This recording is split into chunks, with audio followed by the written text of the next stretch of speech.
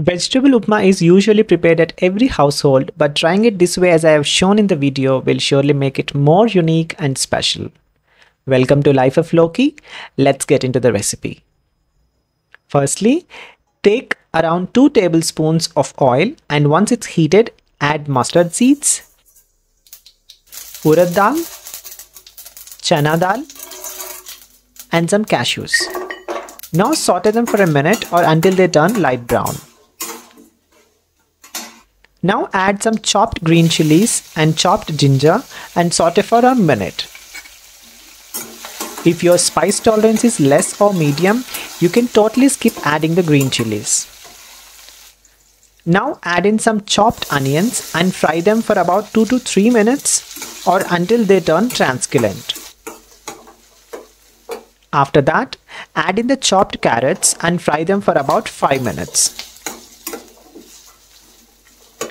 After that, add some green peas and fry them for about another 5 minutes. Choosing the vegetables for this recipe is of your choice. You can add capsicum, potato, cauliflower, beans, etc. Once the green peas are fried, add in the chopped tomato and saute for 1 to 2 minutes only. Frying the tomatoes for longer than this will make them mushy and turn the upma color into red. So after 2 minutes, add 1 cup of upma rava and saute it for 2 to 3 minutes. In the conventional upma making, we fry the rava separately in the beginning and keep it aside. But frying it along with the vegetables not only saves time but also adds more taste. After frying the rava for about 3 minutes, add 3 cups of water as we have added 1 cup of rava. So the measurement is 1 is to 3.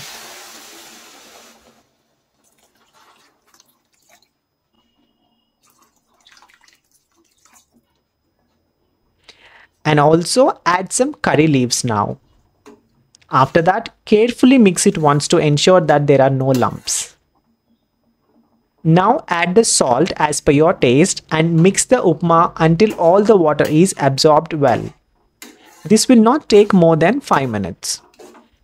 Finally, when the water is absorbed and reached this consistency, add some grated coconut and mix once.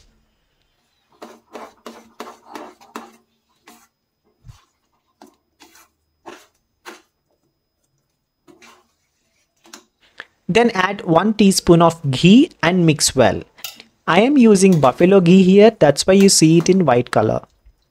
Adding the coconut and ghee at the end will enhance the flavor of the upma and you will not skip adding them from next time whenever you cook vegetable upma.